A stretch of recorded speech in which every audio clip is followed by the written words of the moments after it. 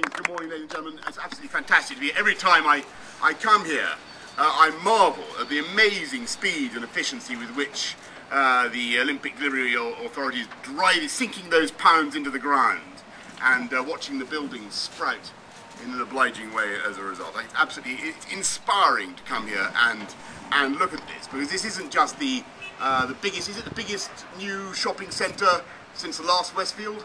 In Europe.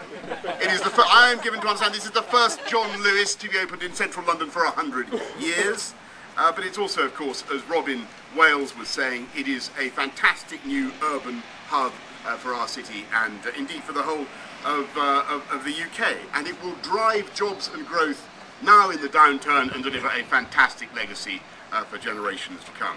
it's, it's, amazing to stand on top of this, this John Lewis and, and, and think about uh, the commercial opportunities that it represents for this part of East London. And I know that uh, it will draw people not just from across the UK, but of course from across Europe, and that's why I have no doubt that the Eurostar will face an overwhelming financial obligation to stop here in Stratford.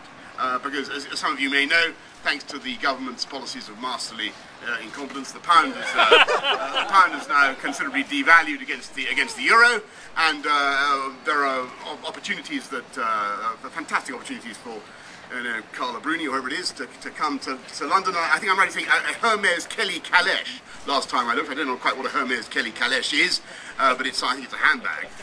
is now about 40% cheaper here in London uh, than it is in Paris. And of course, even if, and here's the key point, even if the pound recovers, I'm sure it will under a Conservative government, uh, even, if, even if the pound recovers, there will still be quite astonishing commercial opportunities here in Westfield, here in Stratford. And uh, I believe the, the Eurostar will be overwhelmed by demand from French consumers uh, who will say, we want to go to the Westfield.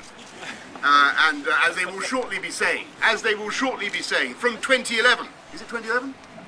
From 2011, they will be saying on the Rue de Rivoli, Le Jean-Louis à Stratford City, ici nous allons.